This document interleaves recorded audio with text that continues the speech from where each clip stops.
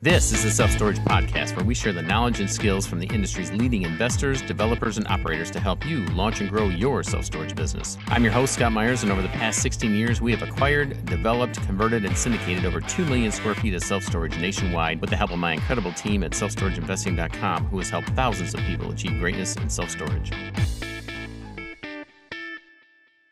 Hello, everyone, and welcome back to the Self Storage Podcast. I'm your host, Scott Meyers, and this week's guest is Josh Cantwell. Josh is a husband and father to three amazing children and is also a pancreatic cancer survivor. And we're going to spend a little bit of time in this interview talking about that and the lessons he learned in life and in business through that. He and I have known each other for over 15 years, and I've watched him graduate from single family fix and flips to now managing over $40 million in private equity which is deployed into multifamily real estate and self storage. He has been involved in a 1,000 plus wholesale, rehab, rental foreclosure, and apartment transactions, and currently holds a portfolio of over 3,000 plus cash flowing properties. His superpower is sticking to his nine fundamental disciplines that he shares with everyone who will listen that have allowed him to scale and grow a wildly successful real estate investing business. So, without further ado, please enjoy my conversation with my friend Josh Cantwell. Well, Josh, so good to have you back on the show. It's uh, been a minute since uh, we had an opportunity to be in the same room or in the same Zoom room together. And we've been watching each other's uh, journey and uh, glad that we were able to get on here and giving everybody a little bit of your bio and a little bit of your background. But uh, if you would, why don't you catch Storage Nation up on what you've been doing recently and um, talk a little bit more about uh, really about the private equity side and how you've really grown that side of the business? Sure, absolutely. Yeah, the Storage Nation is uh, something I'm very familiar with. Scott and I did our first kind of speaking engagements together and things maybe, geez, 15 years ago on the same stages. And back then I was in residential. I was, was a national speaker. We were flipping hundreds of houses a year. And what happened, Scott, was in 2011, just really briefly, I was out of nowhere diagnosed with pancreatic cancer and realized when I was kind of ripped away from my business for nine months getting ready for that surgery and then recovering from the surgery, I realized I had made a massive mistake, which was I did not invest for cash flow. And so I've completely changed what I did coming out of that surgery in 2011, 2012, really started focusing on what I thought my superpower was, which was raising money. And back then we were really using it and deploying that into buying lots of residential properties. That grew to the point where I didn't need any more money for my own deals. And my team and I decided to start a private equity fund back in 2014 and kind of recruit the money into a fund structure. And there we were doing a lot of lending. We were doing a lot of private money lending, a lot of hard money lending. We actually started brokering for other fund sources. We started funding some self storage. We started funding some small and medium sized apartments, a lot of fix and flips on Resi. And then from there, our investors that really loved the returns and loved what we were doing, they started saying, Hey, Josh, what else do you have? And, uh, you know, starting in about 2017, 2018, I started really partnering up with some friends of mine that were already in the multifamily space and some guys that were in the self storage space and really started to kind of joint venture with them. Because my superpower has always been, Scott, regardless of whether it was residential, a fund, whether it was multifamily self storage, it was always raising money. My, that was my superpower. So we just started, started to direct those dollars into these new opportunities. And then really for the last four or five years or so, we've really exclusively focused on multifamily, about large apartments. And then when COVID hit, our strategy even became more narrow, which is one of the things I want to talk about today, if we can, about being a super niche investor but became even more narrow, not only raising money and focusing on multifamily, but really focusing in on a couple markets that I wanted to absolutely have a foothold on. I was not going to be spread out all over the country. So as I've learned and grown up, you and I have kind of grown up in this business together, right? you have a very mm-hmm. similar path, but one in multifamily, one in self storage. You realize that being super niche is where it's at. And that's really helped me a lot to, you know, have the reputation I have in my markets with brokers and with, with lenders and with private investors. So that's a little bit about the journey I've been on for the past, you know, 10 or 15 years. And that's really where I wanted to spend the rest of our time is on focus because, you know, Josh, you've done an incredible job of that. Um, we as entrepreneurs and as real estate investors, but we can get shiny objectitis. And, you know, many times that does uh, divert our focus and attention away from uh, what is the most important. But at the end of the day, if we recognize what our unique ability is or what our superpower is, then, you know, maybe we just spend our time in that and the deals will come. And then we build the support systems around us. And you've done an incredible job of that. And so, you know, let's, I wanted to move into that realm of how you stay focused, but then, then so opportunistic in your real estate as you build your real estate empire. Yeah, Scott. You know what I've noticed is, and if it's okay if we if we go down this path, is mm-hmm. and be great for your Storage Nation audience is through my own journey. And I've also been fortunate to coach thousands of people and speak on stages with amazing people like Barbara Corcoran and Kevin O'Leary and Jack Canfield and some of these amazing people. I've noticed that there's some traits that elite entrepreneurs and eight figure, nine figure investors have. These are the traits, Scott, that you possess, the traits that I possess, but also the traits that I see guys with really big portfolios who run a really good business and also have a lot of balance in their lives. You know, they have good family structure, they have good, you know, relationship structure, they have good financial structure. There's really nine traits that I've recognized that these folks have. And if it's okay with you, I'd like to share those because I think your Storage Nation audience could really benefit from that. Absolutely. And, and again, this is the reason I want to have you on and have this call when everybody else is uh, listening to uh, share a little bit about your journey and again, how you built what you built, because it is a little bit unique compared to some of the other guests we have and some of the other folks that, uh, quite honestly, that I, uh, that I deal with in my circles. Sure. Yeah, you bet. So I'm actually going to start because we've already touched base on it. I'm going to start with the 10th or the bonus trait which is the elite entrepreneurs that I've been around and the eight figure, nine figure investors that I've been around, they're super, super niche, right? You talk about focus, talk about niche. They have a superpower that they've recognized, whether it's finding deals, specifically finding self storage deals or underwriting. Maybe it's raising capital.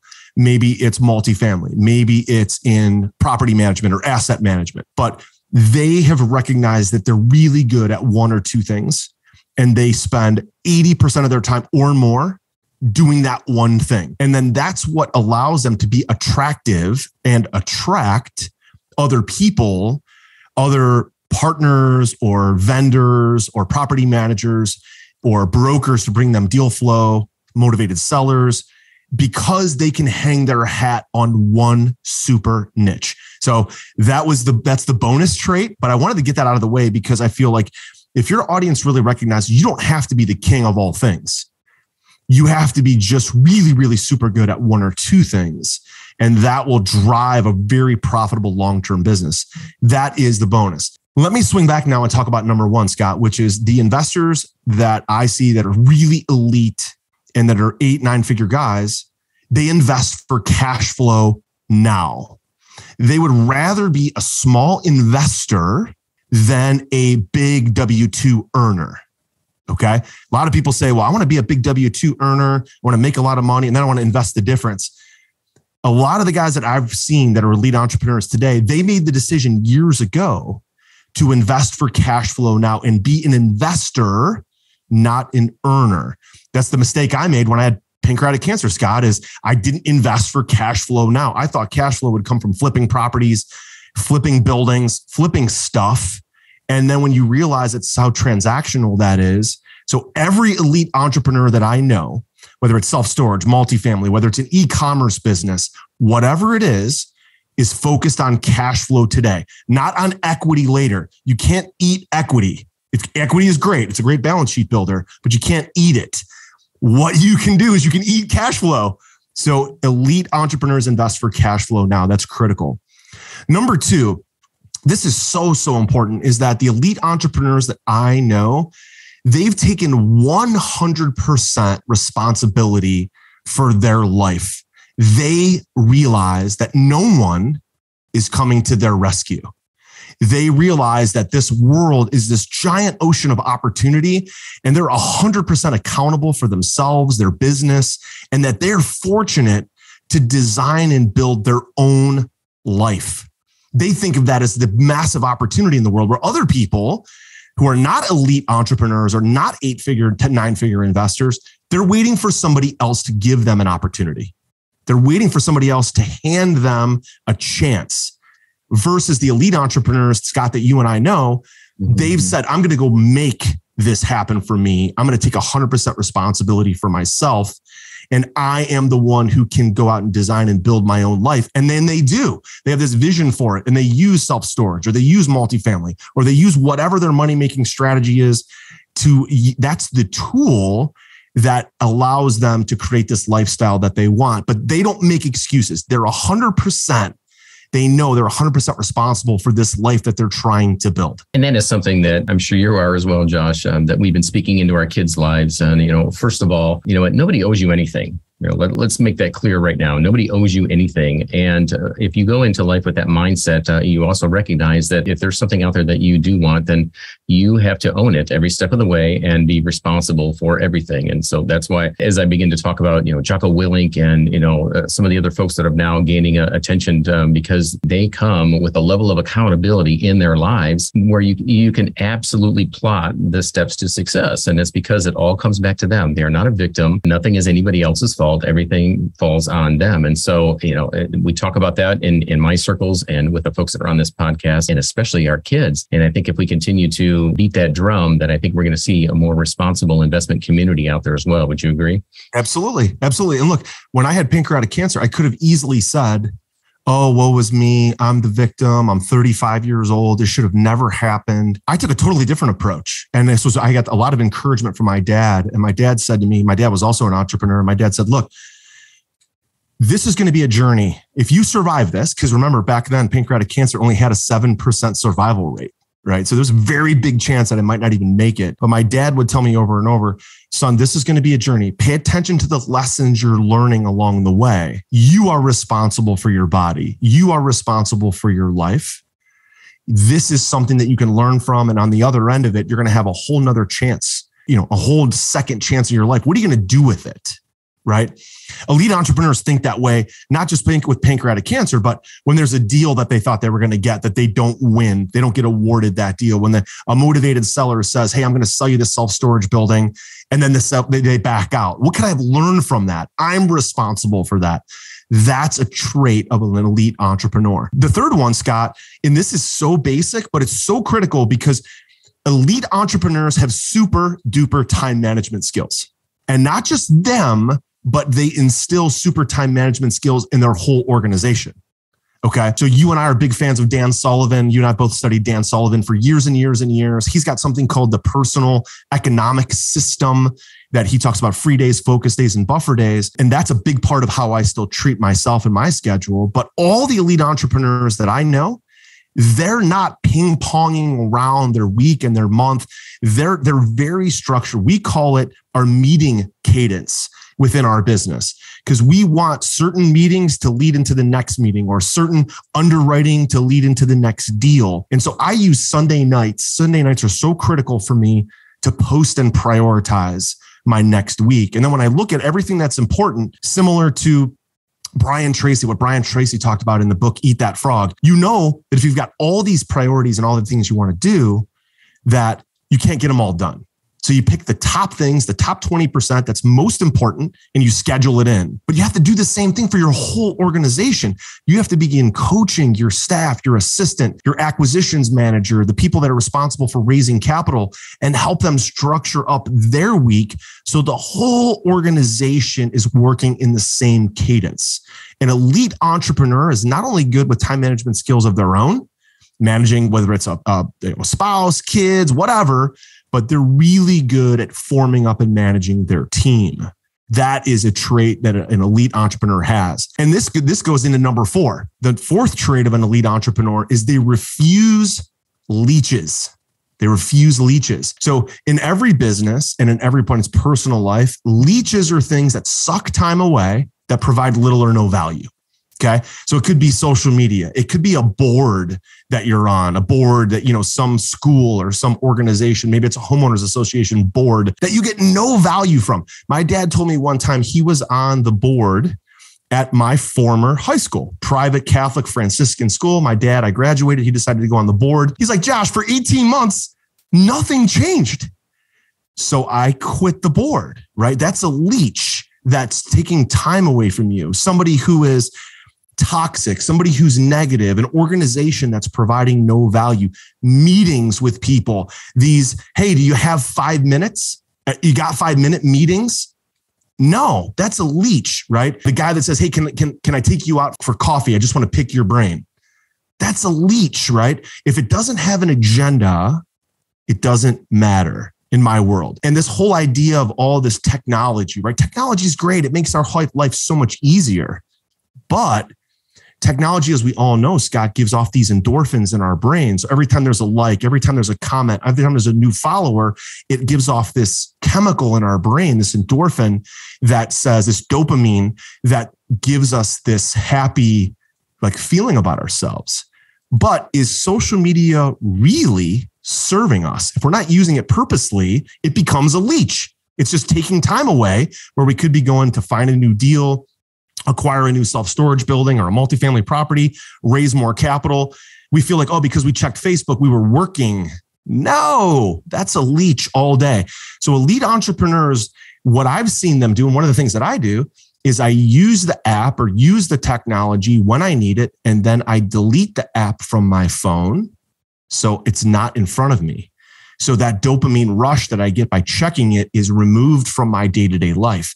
This, this falls in with number three, which is the super time management skills. If I'm constantly letting these leeches pop into my life, my super time management skills are dissipating and it's not working. Okay. Which leads me to number five, Scott, which is elite entrepreneurs and elite investors use technology as a weapon. Okay. So we use lots of technology, Infusionsoft for marketing funnels. We use Buildertrend for our capital improvement progress. We use a, a, program called HappyCo for due diligence. We use Appfolio for property management and investor management. We use Basecamp for project management. They all have apps that I can check from my phone in the field. But we tell our team if it's not in the software, it didn't happen.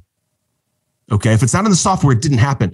Because when you build a big portfolio, Scott, like your self storage portfolio, I own 4,300 units of apartments. We've done 18 syndications. You can't do that if you're relying on email, text messages, meetings, one on one talks with your team.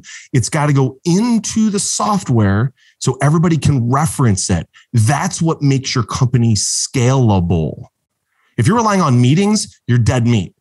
If you're using technology as a weapon where you can get reports out of technology, you can put all your meeting notes in technology, you can upload photos, pictures, underwrites into a software program that somebody else can then download, it eliminates the need for meetings. So using technology is critical. And every elite entrepreneur I know demands that their team uses technology. But as we know, technology is very tough to adopt, right? So, one of the strategies here is to just pick out 10 to 20% of any technology that your company is going to onboard and be firmly and co- completely committed to just using 10 or 20% of it. And then your team will slowly begin to adopt more and more of it. So, Scott, I know you guys use technology in your business, right? As not only for marketing, but for self storage management. It's critical to scaling a company. Yeah, absolutely. And we stress that a lot. And, and I have to have constant reminders in our level 10 uh, meetings. To your point, Josh, uh, if it's not in the app, if it's not in the technology, then it didn't happen. It operates in a vacuum because we operate as a team. And um, same as you, we're a fast moving company and uh, we don't have time for meetings and we don't have time for one offs to get everybody up to speed. So it, it has to happen on a common platform or it just doesn't get done. That's right. And for us, like we have a weekly owner meeting with different property. We have four different property managers that work for us. We have a different owner meeting every week, once a month with these different property managers. That's part of the meeting cadence I mentioned in, in, in number three. And the software allows us to then guide the meeting, right? So it's really, really important. Uh, Scott, listen, moving on to number six. Every elite entrepreneur that I know has a clear end result that they're pursuing. I have a specific exercise that I use called ACER, A C E R, absolute clarity of the end result, A C E R. And we have one for business and we have one for our personal lives. But in business, my goal has never been we're going to own 10,000 units. My goal is very annual. I want to own and buy 950 additional units per year because that 950 when they're stabilized and we stabilize them and we're able to get them to market value rent and market stabilization value, we know that each unit produces about 1,350 to $1,400 of net free cash flow per year. So you take the 950 times about 1400 bucks, that's 1.2 million dollars a year of net free spendable distributable cash flow. It's 100,000 a month. So I thought, look, what if we could just continue to buy enough properties and enough buildings or enough self storage, Scott, in your case, that you could add $100,000 a month of net free cash flow after all your expenses are paid, after all your team is paid, after all your debt service is paid. So that's my ACER. That's my end result that I'm pursuing. It doesn't mean it's right for everybody.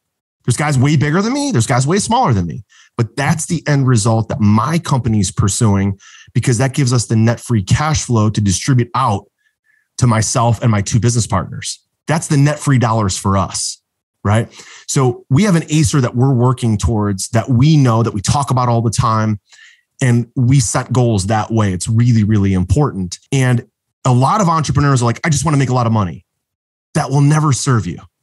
That will never get you where you want to go right? So, Scott, I'm sure in your business, you, people that you coach, people on this podcast, you encourage them to like, some people call it a vision board, a dream board, those kind of things. To us, it's just 950 units a year. That's our yeah. company goal. The opposite of that, to make a whole lot of money, is hoping. And as uh, we say around here, hope is not a strategy. And so, uh, yeah, we we talk a lot about you know the opportunities that come on our desk are, are only opportunities until they become a deal. And then uh, when they become a deal, what are we going to do with it? Well, the first question we ask is, well, what's our exit strategy? And if it's um is to sell in five years or it's to keep it, then if we keep it, does it make sense to do so? And is that working towards the big goal? And that is the cash flow goal that you just mentioned. And so, yeah, same decision board and decision making uh, process that we uh, that we work through.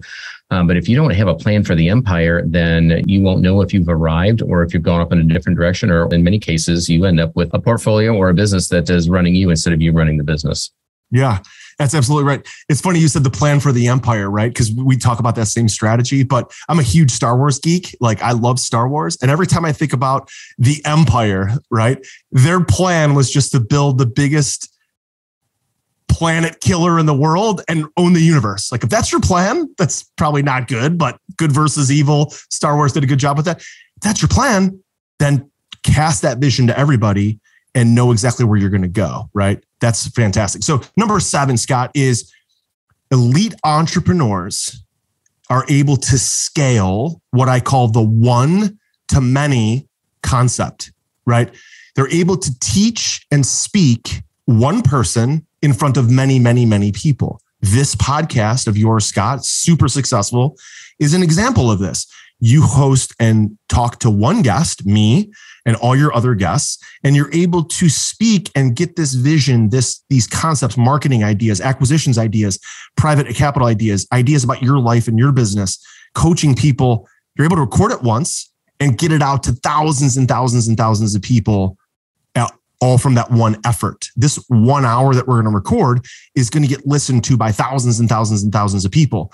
So, elite entrepreneurs don't hide and say, well, I'm going to build this big business by myself, or I'm going to build this big business alone, or I'm going to do it from my computer.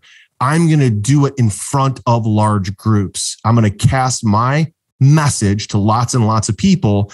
And then they're able to bring people in through whether it's a marketing funnel or an opt in page or some sort of way that they capture people. And then those people become their closer circle, their closer crowd. They can kind of build a tribe with, like you said, Storage Nation. This is what it's all about. But every elite entrepreneur I know has done something similar. They've scaled this one to many process through webinars, podcasts, email marketing, YouTube videos.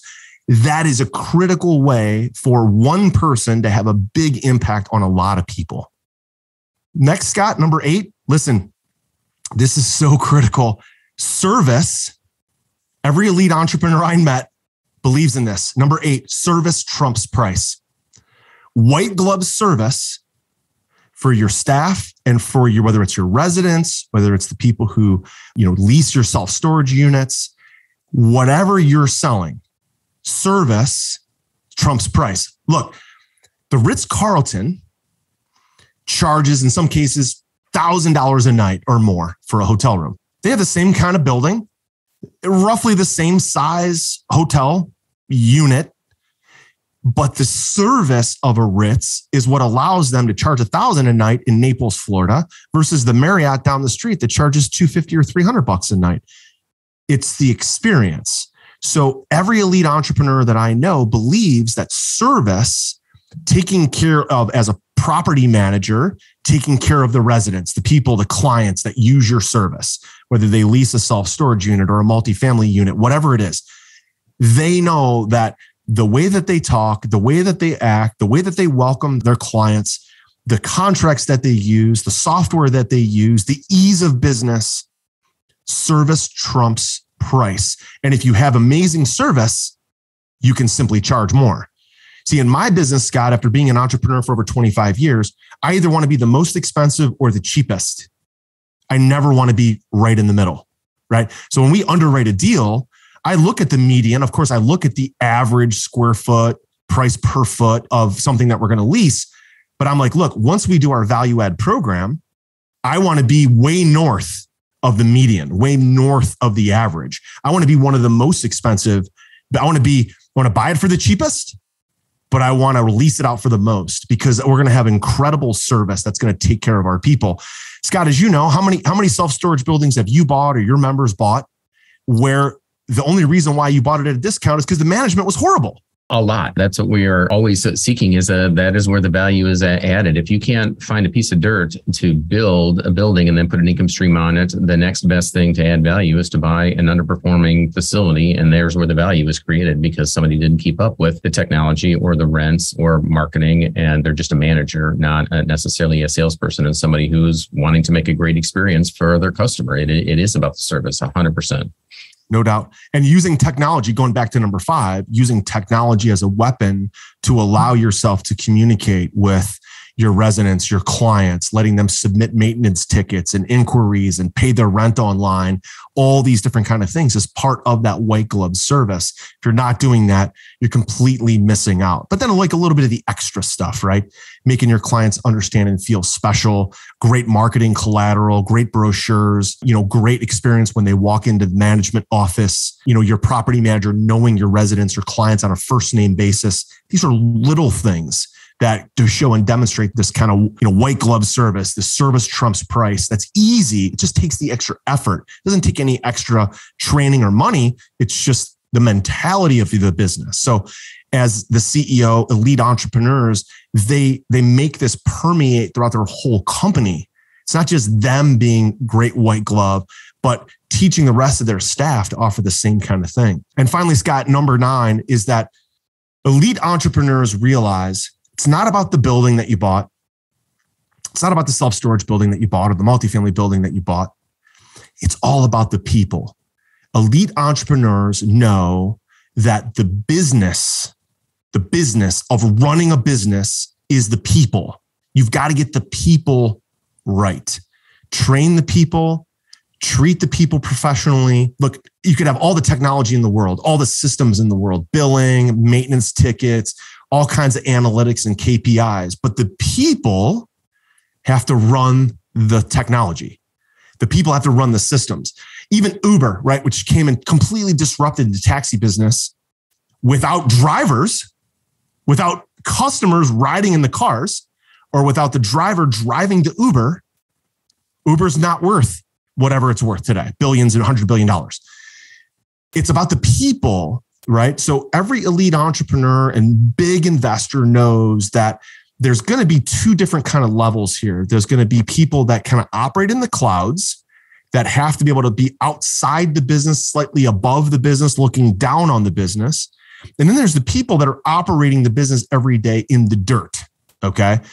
The people that are doing the business every day, the people that are leasing out units, the people that are greeting customers, the people that are working on maintenance tickets, the people that are doing acquisitions, the brokers that you're dealing with when you're buying in the next building. It's all about those people that are operating in the dirt. So if you're a CEO or you're an elite entrepreneur and you're leading an organization that's buying self storage or buying multifamily, your number one goal is to make the business for the people in the dirt make their job as easy as possible, make their job frictionless as possible. It's not, hey, I'm the CEO. I get to drive a Bentley and go to the Cavs games and sit in the front row and I'm worth, you know, $20 million. I have this huge balance sheet, whatever.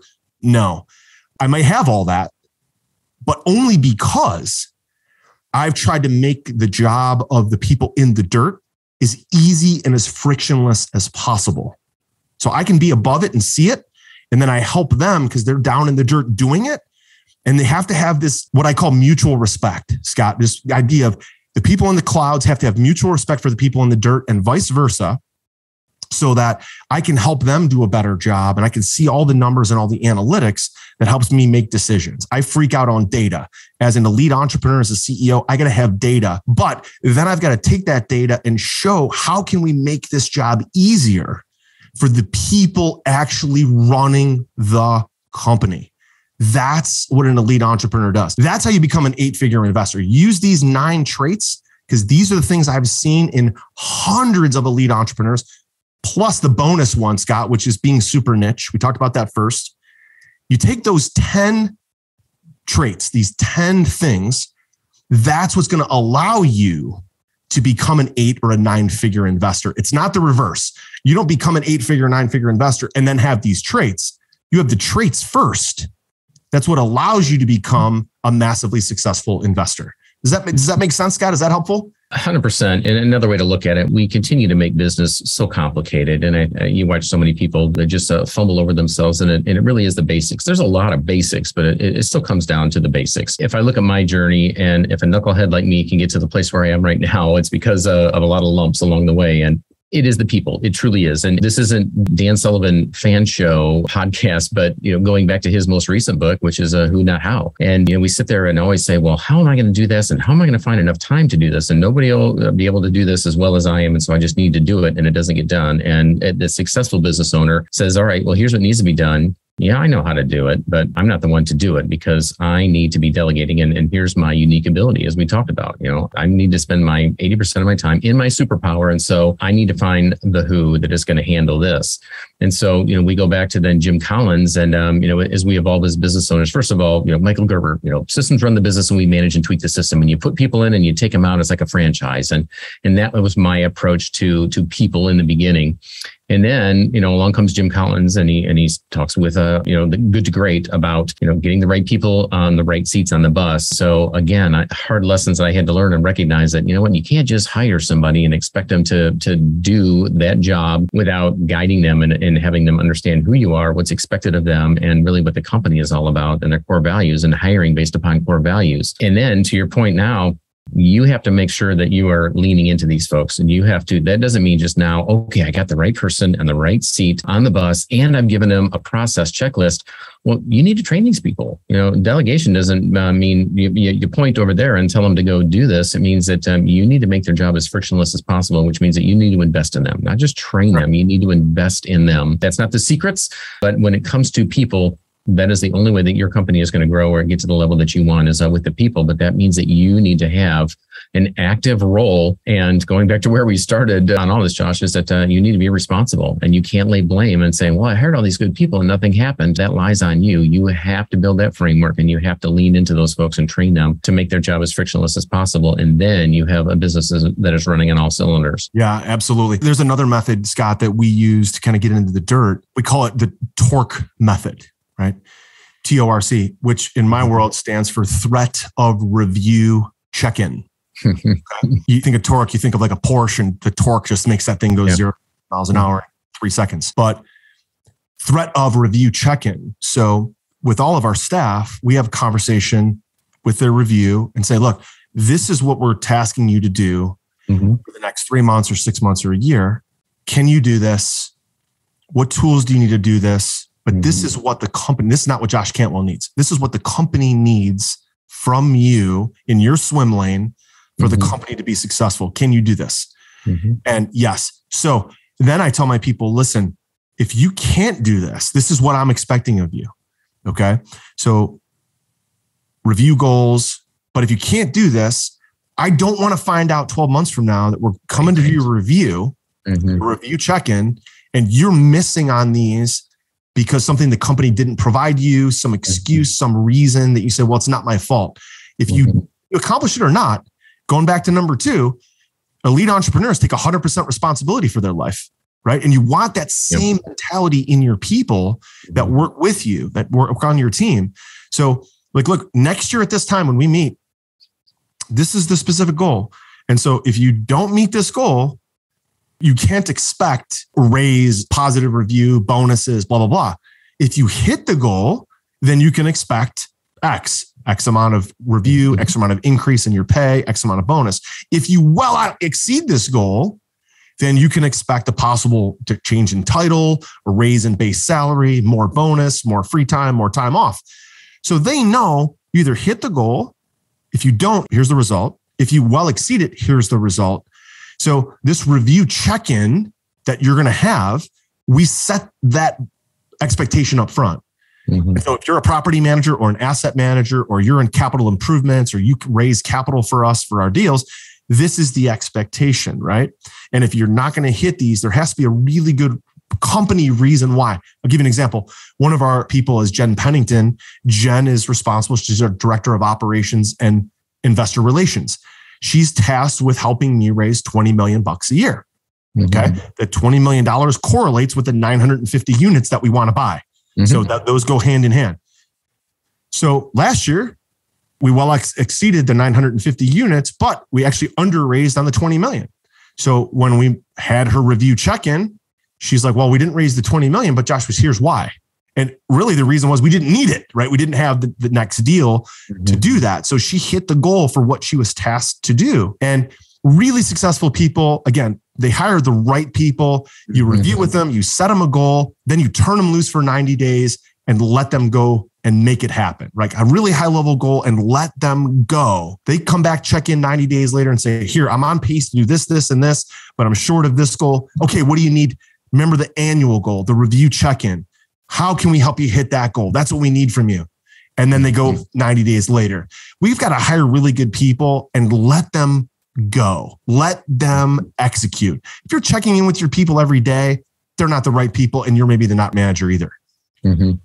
Yeah, I think it requires a level of self awareness on, on both ends. Um, you know, checking in myself as the CEO and uh, either the hiring person or the managing person over our site. You know, do I have the capacity and do I have the skill set to be able to give this person what, the, what they need? And does this person have the capacity and the desire to achieve with what we've outlined in this in this position? And I think both folks need to have a, an understanding of uh, what is needed in order for this uh, to work in every position uh, it does take to. Josh, Thanks so much for the nine. So much more than we can unpack here. And this, in our time left, I wanted to pivot for a minute if I could, if you're willing to answer this. And that is, you mentioned, and I wasn't aware of this, and you mentioned it almost in passing as if everybody here knew that pancreatic cancer survival rate is only 7%. Going into that, first of all, you know, anytime you get a, a prognosis like the one that you had, you know, there's there's a whole flood of emotions that comes in. But then as you dug in or when the news was delivered to you that, hey, there's probably, you know, there's a darn good chance that I'm not going to make it through this. From that time to, you know, getting through, you know, on the backside of it, there's a whole lot of lessons that I'm sure that were learned about life and about yourself. Um, could you just take a few minutes to unpack that if you're willing? Sure.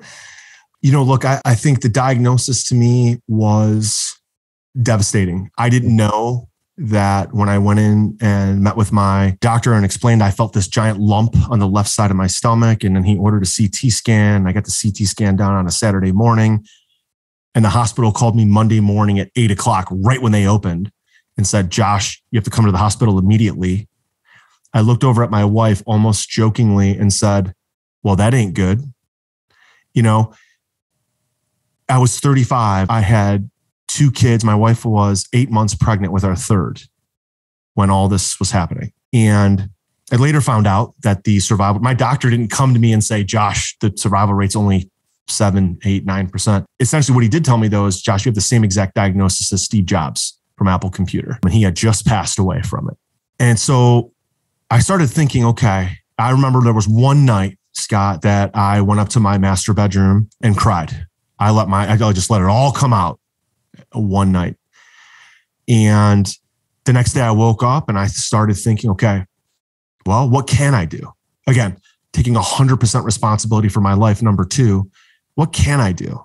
Who can I talk to? So I started calling people that I knew that had cancer in the past, started calling people that I knew that had pancreatic cancer in the past. I started having very serious conversations with my wife, getting my financial house in order, talking with my parents, these kind of things. And I think when I met my surgeon is really when it hit me when I had to sign the digital disclosure and acceptance that they might have to take out my stomach my gallbladder, my spleen, all of my liver, all of my pancreas, all of my stomach.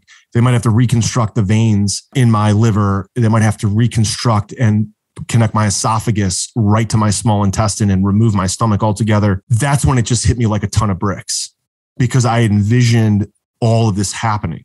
And I remember talking to my wife the night before. There were two things that happened the night before the surgery.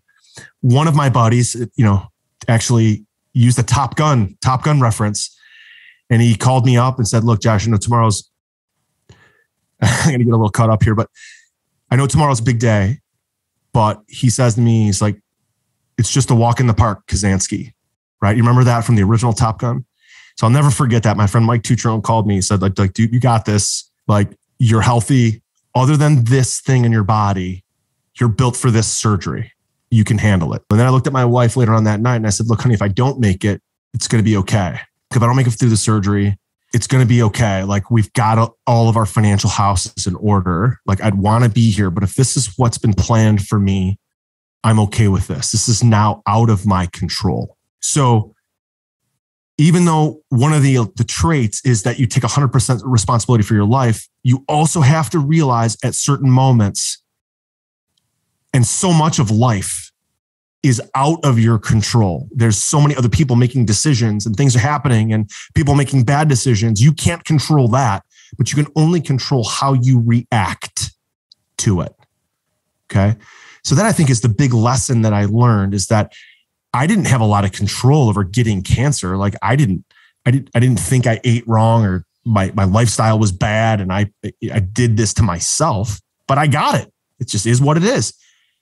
And it was out of my control. But what I can control is my reaction to it. And how was I going to approach people? How was I going to talk to people? Was I going to was I going to be around everybody else in my life and make them feel bad that I might die?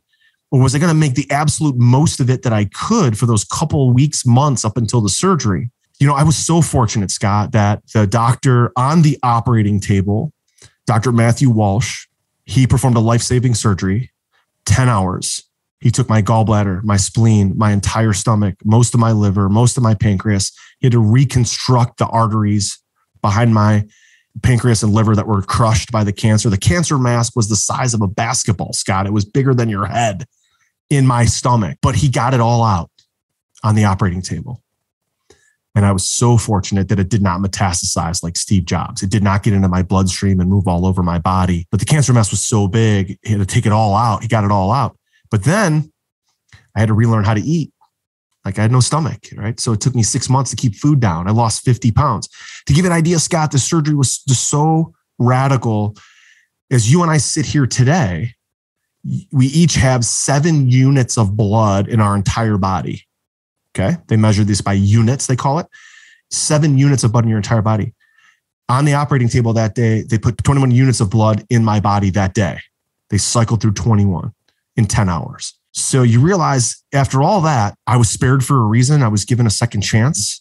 And now I realize I have an obligation, like a moral obligation to other people who are less fortunate than me or my staff members that maybe don't have the guts or the risk taking that I have.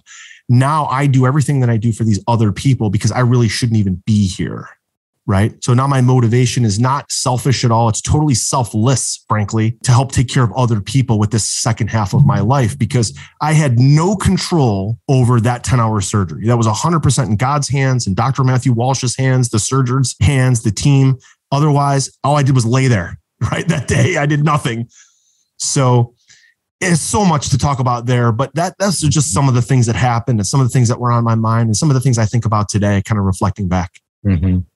Well, I appreciate you sharing, and I think uh, Storage Nation uh, and we can all learn a little bit uh, from that uh, as well. And you don't go through something like that uh, being a changed man when you come out on the other side. So once again, I appreciate you you sharing that. And um, my friend, uh, God has definitely spared you for a time such as this to be able to go out and um, share what you're sharing right now and to be a light for others, but then also to build an incredible organization so that those people can catch a little bit of what you've got, Josh. So I'm thankful that we were able to share in that as well. And I just appreciate your time today. Absolutely, Scott. Thanks so much for having me on, man. It's great to know you for such a long time and to share personal strategies, business strategies. So thanks, Elaine, for having me on. I appreciate it a lot. Uh, Josh, if uh, somebody wants to follow a little bit more about uh, what you're doing, uh, what's the best way for them to be able to reach out and find you? Yeah. Um, so I'm very active on LinkedIn, and our main website is freelandventures.com. There you'll see everything from my personal story, our portfolio, everything that we do is at freelandventures.com. Beautiful. Josh, thanks so much for your time once again. And I look forward to the time when you and I can be in the same room again uh, together and hope that's uh, very soon. Yeah, me too, Scott. Thanks so much. All right. Take care, my friend.